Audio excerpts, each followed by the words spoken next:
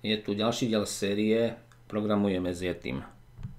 Je-li tvým hříchem zabíjet své milované, potom tvým trestem je pak zabíjet je neustále.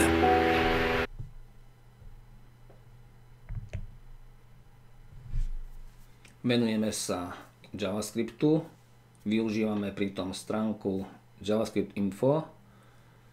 Témou je THIS, hlavne v objektoch. THIS je v JavaScripte ťažká téma, pretože na rozdiel od iných jazykoch, ako sú Java, ako sú Java alebo C++, kde THIS, ak sa použije v nejakej metóde, tak vždy ukazuje na objekt v metóde, ktorého sa používa. V JavaScripte okamihu definície nejakej metódy, nejakej funkcie nemôže nikto povedať, na čo vlastne to THIS ukazuje.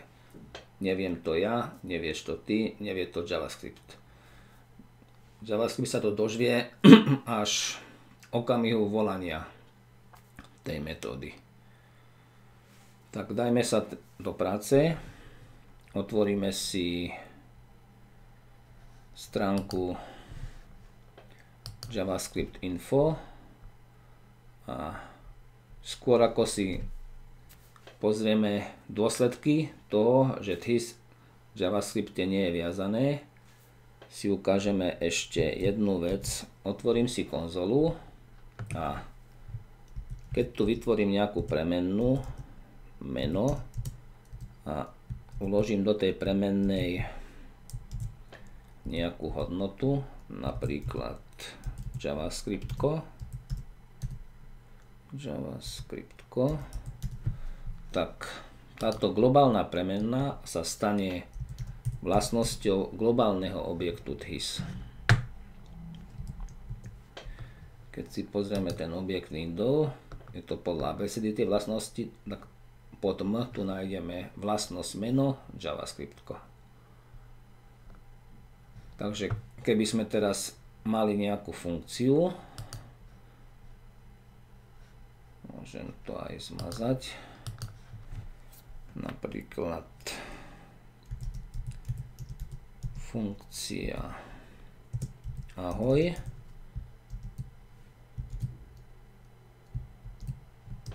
Teraz už potrebujem množinovú zátvorku.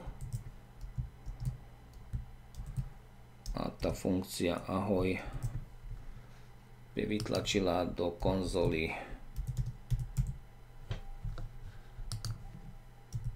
to meno. Dali by sme his.meno. Tak, čo sa nám zobrazí po volaní tej funkcie? Zobrazí sa nám nedefinovaná hodnota alebo hodnota, ktorú sme uložili pomocou var meno do tej premennej meno. Je to JavaScript. Pretože THIS ukazuje na globálny objekt na window, no a window má tu vlastnosť meno. Keby sme vytvorili tú premennú pomocou let, dáme meno 2 a dáme tam meno letko, a zavolám si tú funkciu a zmením tú definíciu, aby tu bolo meno 2 zavolám funkciu dám enter. Tak hodnota je nedefinovaná. Tým sa liší správanie letu. Od var keď si pozriem ten objekt window,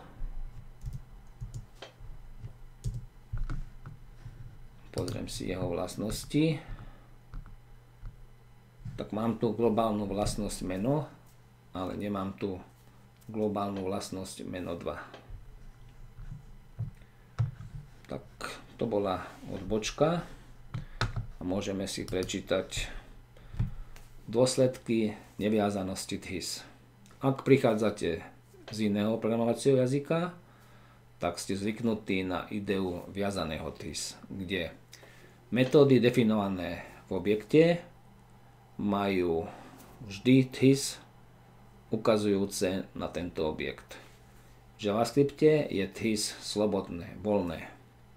Jeho hodnota sa určuje až počas volania danej funkcie, danej metódy. A nezávisí od toho, kde tá metóda bola deklarovaná, ale závisí skôr od toho, čo sa nachádza pred tou bodkou. Ako tú funkciu alebo metódu voláme. Koncept vyhodnocovania hodnoty THIS až počas behu programu má svoje plusy aj svoje mínusy. Na jednej strane funkciu môžeme použiť vo viacerých objektoch, vo viacerých rôznych objektoch. Na druhej strane táto sloboda otvára priestor na to, aby sme mohli robiť chyby.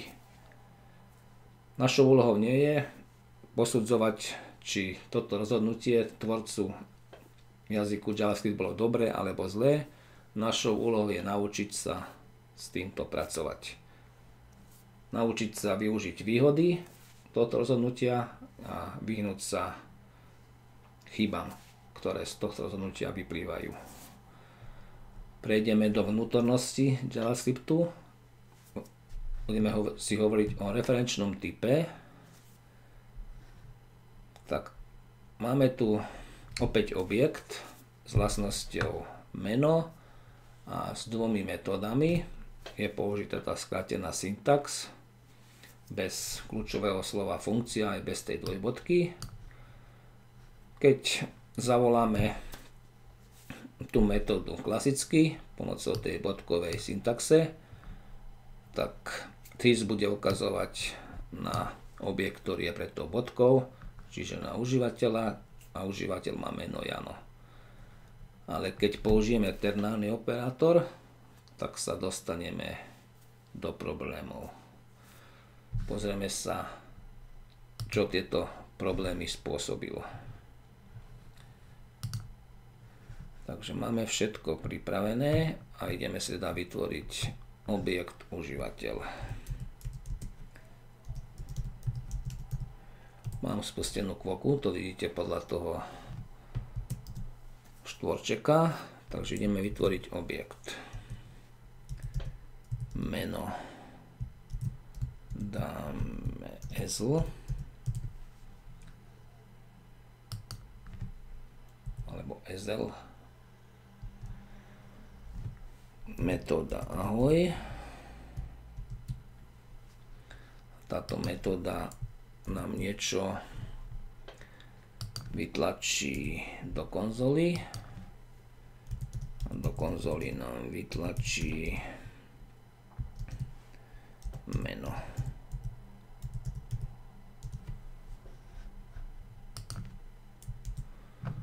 Potom pridáme ďalšiu metódu. Nazveme ju lúčenie. A táto metóda nám tiež niečo vytlačí do konzoly, ale nebude vôbec závisieť od tej vlastnosti meno, bude to jednoduchý text majsa.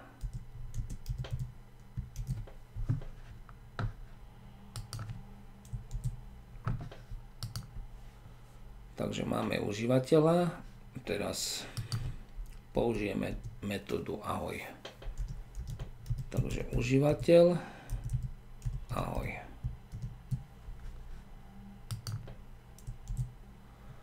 Pozrieme sa, či to funguje. Máme tu toho ezela, takže to funguje. Teraz urobíme z toho ternárny operátor to môžem toto zakomentovať a dáme. Zistíme si, či meno užívateľa je. Ezel. Ezel to je po nemecky somar, ale toto by malo byť turecké meno, Takže ak to meno bude SL, tak použijeme funkciu užívateľ bodka ahoj. Všimnite si, že tú funkciu nevoláme, iba určujeme, že ju použijeme. A ak to nebude pravda, to sa dáva za dvojbodkou, použijeme funkciu užívateľ lúčenie. No aby sme tú funkciu zavolali, tak dáme toto všetko do zatvorky a zavoláme funkciu. Funkcia sa volá pomocou týchto zátvoriek. Keď sa na to pozrieme, tak tu máme nedefinované. Prečo to tak je? Keď meno pasuje SL, SL, keby sme tu dali SL, tak nám to funguje. Takže logika funguje, ale nefunguje nám to, čo sme očakávali, že sa nám tu objaví pri SL-ovi ahoj. A to sa neobjavuje. A prečo? Pretože túto funkciu tu nevoláme. Iba určujeme, ktorá funkcia sa bude volať. Vyzerá to tak, že používame volanie, opakujem, nie je to volanie. Toto užívateľ ahoj je vlastne táto funkcia. Je tam slovíčko this, ale potom tú funkciu už voláme normálne. Nevoláme ju akože užívateľ ahoj, ale voláme len ahoj. to je to vysvetlenie, že toto nie je volanie funkcie, to si treba uvedomiť. To vlastne pri, priradíme túto metódu ahoj nakoniec do toho, čo potom zavoláme. A tam ani nie je stopa po nejakej bodke. Je tam táto obyčajná funkcia a keď sa volá obyčajná funkcia, tak his sa stráca, ukazuje na globálny objekt, v prípade prihľadača na objekt window. Pozrieme si ešte vysvetlenie na tej stránke.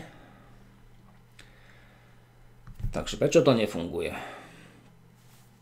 Musíme si uvedomiť, ako funguje, keď máme nejaký objekt a zavoláme na tom objekte metódu tomto príkaze sú vlastne dve operácie. Prvou operáciou je bodka. Pomocou tej bodky získame prístup k vlastnosti toho objektu. A potom tam máme zátvorky a tie zátvorky ten objekt zavolajú. Takže ten náš program vlastne funguje nasledovne. Máme nejaký objekt a ten ternárny operátor funguje tak, že získame síce prístup k tej metóde, ale potom ju priradíme do obyčajnej premennej a tú funkciu potom zavoláme. A vidíte, že pred volaním tej funkcie nie je žiadna bodka. A keď nie je žiadna bodka, tak to TIS sa stráti. Nevoláme túto funkciu ako užívateľ bodka ahoj, ale voláme ju ako obyčajné ahoj. Takže mohli by sme to prepísať aj v tom našom programe. Je tu teraz samé úpravy, zmena veľkosti okien. Takže môžeme aj toto zakomentovať. Funguje to vlastne takto. Najskôr si vytvoríme nejakú novú premennú ahoj a do tej premennej uložíme tú metódu čím z metódy objektu urobíme obyčajnú funkciu no a potom tú obyčajnú funkciu voláme a nie je tu žiadna bodka pred volaním tej funkcie, tak výsledok je nedefinovaný. Keby sme to volali takto, tak tu máme to meno ezel.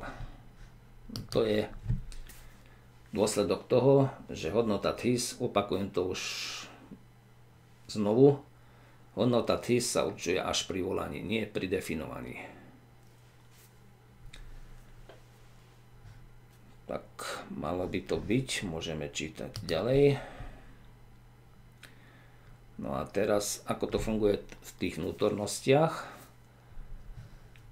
keď použijeme toto, že voláme tú funkciu ako metódu nejakého objektu, tak tento operátor vtedy nevracia obyčajnú funkciu, ako by sme mohli očakávať, ale vracia špeciálny referenčný typ. A ten špeciálny referenčný typ to je vlastne trojkombinácia prvou hodnotou je objekt. V našom prípade to môže byť užívateľ. Potom je meno tej metódy. V našom prípade je to ahoj. A potom je, či používame striktný mod, alebo nepoužívame. V našom prípade používame. Tak, keď voláme tú metódu takto, tak dostaneme späť špeciálny referenčný typ. JavaScript už vie, čo je hodnotou TIS. Toto. Ale keď najskôr priradíme tú metódu do nejakej premennej, tak pri tom priradení sa nám ten referenčný typ stráca. A, do haj sa priradí, alebo do ahoj sa priradí obyčajná funkcia.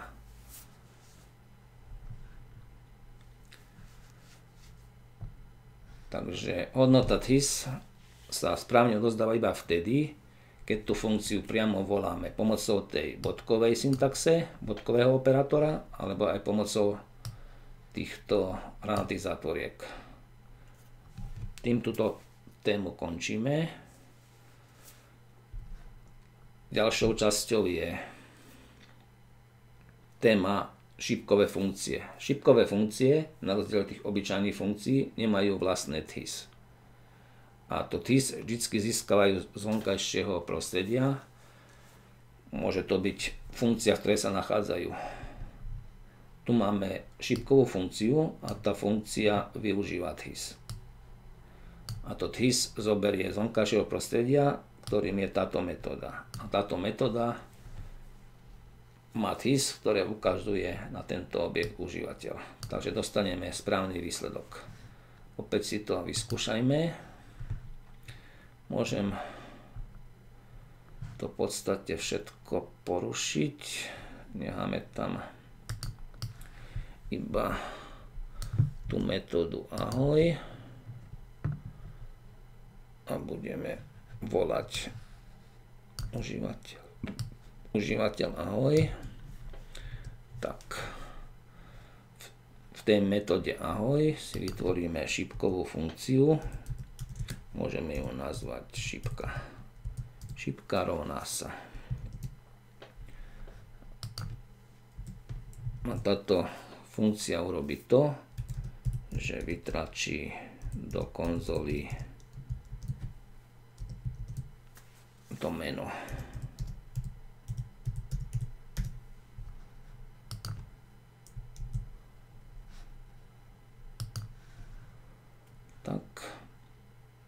toto zrušíme.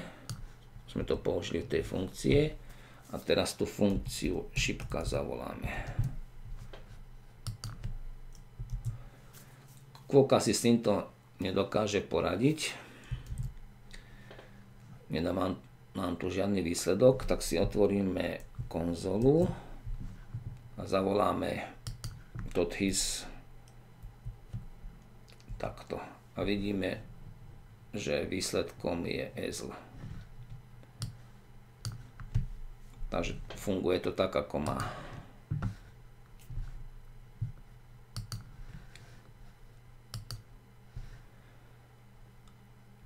Zhrnutie. Funkcie, ktoré sú uložené v objekte, ako vlastnosť tohto objektu sa nazývajú metódy. Metódy umožňujú objektom vykonávať nejakú činnosť. objekt, bodka, urob niečo, volanie metódy.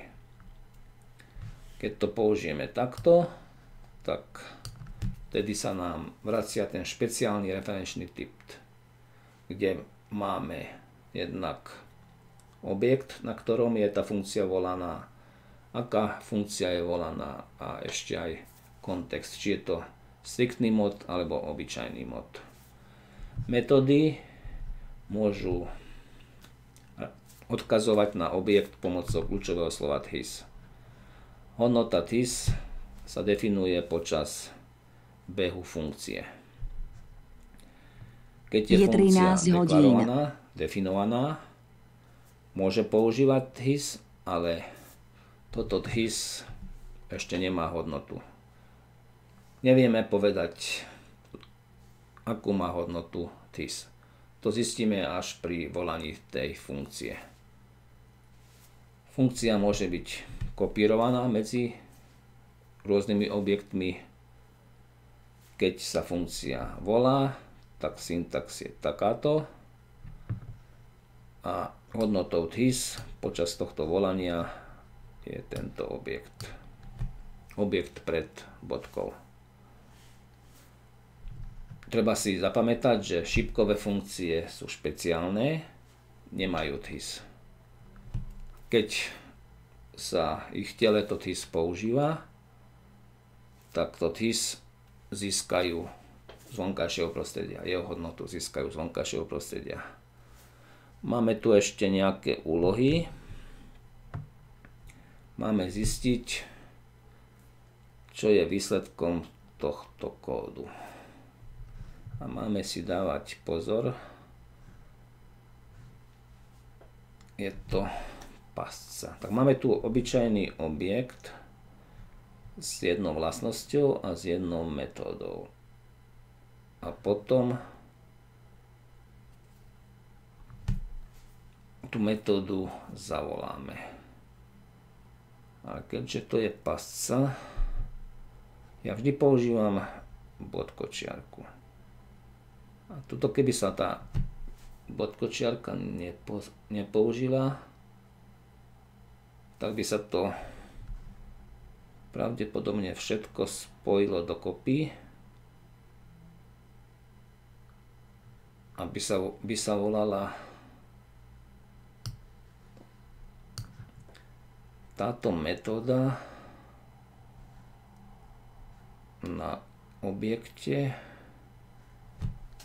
ktorý ešte vlastne ani nie je definovaný. Pozrieme si riešenie. Je to chyba. No a správne som odhalil, že tá chyba sa objavuje kvôli tomu, že tam chýba bodkočiarka. Takže JavaScript to spojí dokopy. Aj to som počítal s tým, len teraz čo to vlastne znamená? Je to syntaktické volanie objektu. Voláme objekt, lebo toto je, ďalej, toto je objekt, ako funkciu. S argumentom užívateľ choď, čo je funkcia.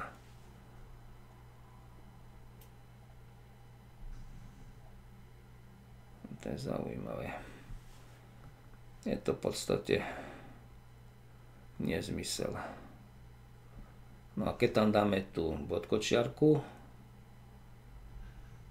tak už to bude fungovať. Tieto zátvorky sú tu v podstate na nič. Zátvorky používame vtedy, keď chceme nejako zmeniť poradie operácií, ale operácia bodka má prednosť. Takže najskôr získame prístup k tej metóde a potom ju zavoláme. to by fungovalo presne rovnako aj bez tých zátvoriek. A môžeme si to napísať. Takže dám to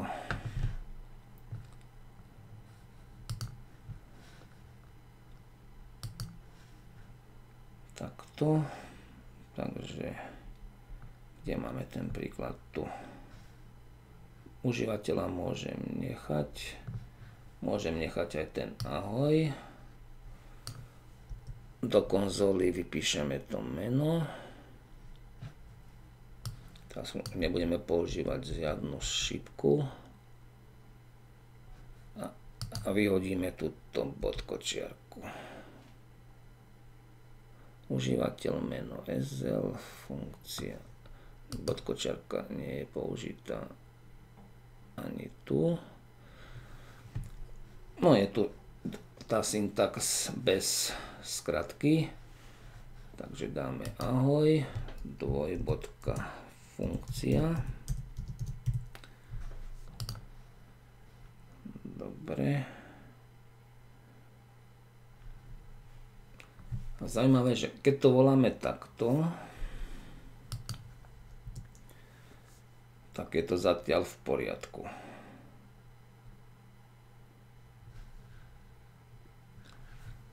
JavaScript si správne tú podkočiarku domyslí, ale ako náhle to dáme do týchto zatvoriek, tak už sa nám to objavila tá chyba. Užívateľ nie je definovaný.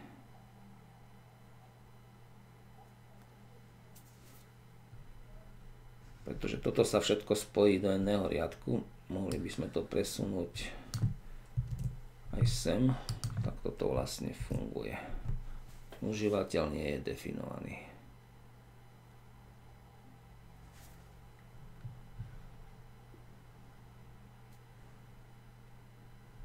Takže riešením je dať bod kočiarku alebo ak chceme, aby to fungovalo aj bez tej bodkočiarky, tak vyhodiť túto zátvorku, pretože tá zátvorka vlastne spôsobila chybu. Vyzeralo to potom ako volanie metódy na objekte užívateľ s argumentom užívateľ.ahoj. Ďalšia úloha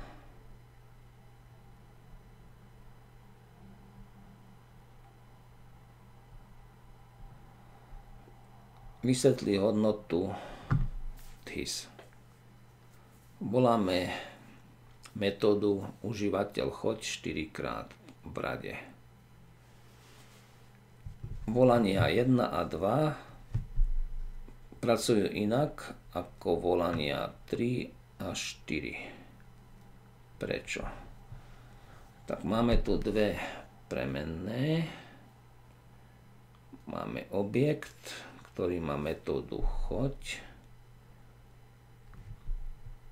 a zavoláme ten objekt.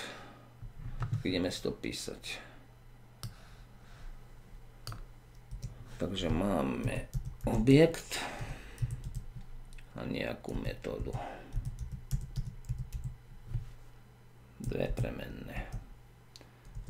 Objekt je objekt, ktorý obsahuje funkciu choď, metódu choď. Je to definované klasickým spôsobom a táto funkcia iba vytlačí niečo do konzoly do konzoly vytlačí hodnotu kľúčového slova TIS.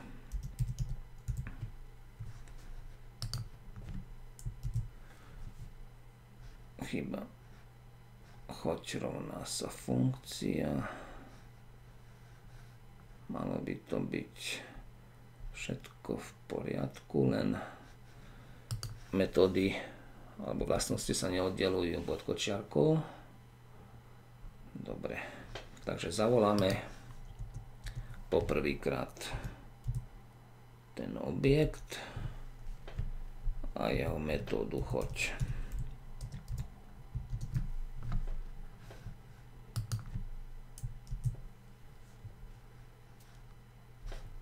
A čo je výsledkom? Výsledkom je tento objekt. Lambda je funkcia. Tak, nič prekvapujúce. THIS ukazuje v metóde na objekt. Teraz to zavoláme iným spôsobom. Ako sme si už povedali predchádzajúcom príklade, je to to isté. Zátvorky sa používajú na to, aby sme jednak volali funkciu a jednak určovali, čo má prednosť. No a metóda choď sa k metóde chod sa pristupuje tak či tak najskôr, takže malo by to dať rovnaký výsledok. kočiarku. Čiže som tam nedal tie zátvorky. Bolo to, myslím, že takto.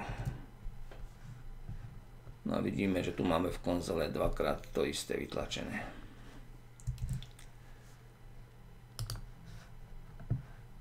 teraz tretíkrát. Najskôr do tej premennej metóda priradíme tú metódu choď.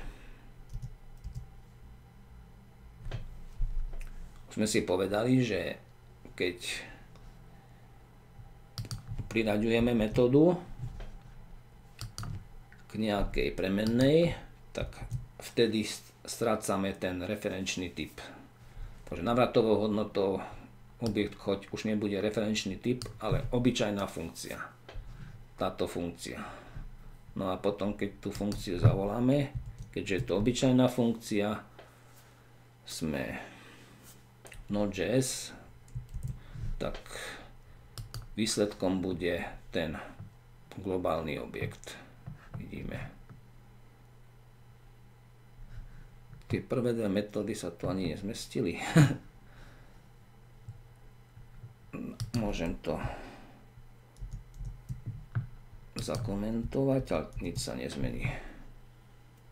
No a už vieme, prečo to je. Volanie metódy vracia referenčný typ, ale keď tú metódu najskôr priradíme k niečomu, až potom zavoláme, tak vtedy pracujeme s obyčajnou funkciou. Ešte raz, neviem, či som to povedal úplne presne, tak keď použijeme operátor plus, nie, keď použijeme operátor bodka, tak ten operátor bodka nám vráti referenčný typ. Takže keby to bolo iba takto, tak máme referenčný typ, vieme, čo je hodnotou TIS, vieme, aký mod používame. Lenže, keď výsledok priradíme k nejakej premennej, tak ten referenčný typ sa nám stratí a k tej metóde priradíme obyčajnú funkciu. A voláme obyčajnú funkciu, obyčajnú takúto funkciu voláme a tam je TIS v prípade Node.js ten globálny objekt. No a ďalšie volanie. Tak, máme tam opäť tie zátvorky. Tak, vyberieme si metódu objektu choď alebo alebo je tu alebo metódu stop metóda stop neexistuje. Potom tú metódu zavoláme. A opäť tam máme ten globálny objekt. Ak sme to použili v konzole, tak by to bolo nedefinované. Môžem si to všetko takto odkomentovať a pozrieme si to v konzole. Všetko skopírujem.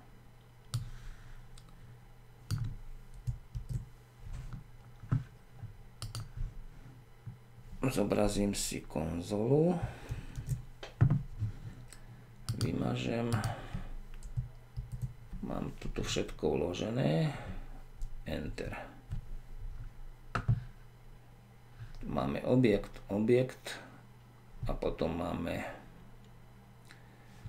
globálny objekt. Som to trocha pomenil. V tej úlohe tuším bolo zobraziť meno, alebo dal som to dobre? Kde je ten príklad? Nie, nie iba TIS.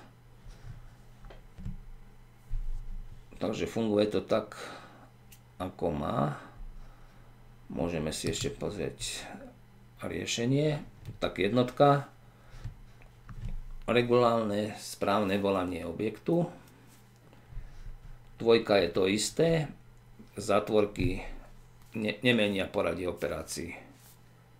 Najskôr sa vykoná táto operácia, čiže získať prístup k metóde a potom je volanie. Zátvorky sú tam úplne zbytočne. A tu máme, na, toto je komplexnejšie volanie. Máme najskôr nejaký výraz v zátvorke, až potom získame prístup k metóde a zavoláme ju. Môžeme si to opäť rozdeliť na dva riadky. Tak najskôr získame prístup k tej metóde Go a priradíme ho do nejakej premene. Tým priradením sa stráca tá referenčná metóda, takže máme obyčajnú funkciu. No a keď voláme obyčajnú funkciu, tak TIS je stratené. No a tá štvrtá možnosť, že táto možnosť je podobná. Toto je tiež na ľavej strane nejaký výraz. No aby sme si vysvetlili správanie v trojke a štvorke, musím si spomenúť na to, na ten referenčný typ. Každá operácia okrem volania metódy vracia normálnu hodnotu. A vtedy nemáme prístup k tej hodnote TIS. Ak máme operáciu bodku a hneď túto operáciu, tak ten referenčný typ nestrácame. Ak máme operáciu bodka, máme referenčný typ. Ale ako náhle už použijeme operáciu rovná sa, alebo operáciu alebo, tak referenčný typ sa stráca, máme obyčajnú funkciu. No a pri obyčajnej funkcii TIS strácame.